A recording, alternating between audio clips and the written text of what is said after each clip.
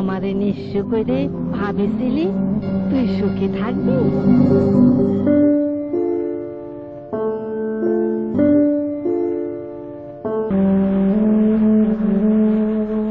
বালি আর বালি, এক ফোঁটা ঘাসও নাই যে তোরে আমি। আমার ছিল জল, ছিল সুখের ঢল, সে জল এখন নদীতে চোখে